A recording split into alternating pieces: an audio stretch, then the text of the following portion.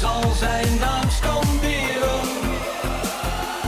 Supermax, een kampioen, hij leeft voor het legioen. Supermax, een fenomeen, zoals hij is er maar één. Supermax, een kampioen.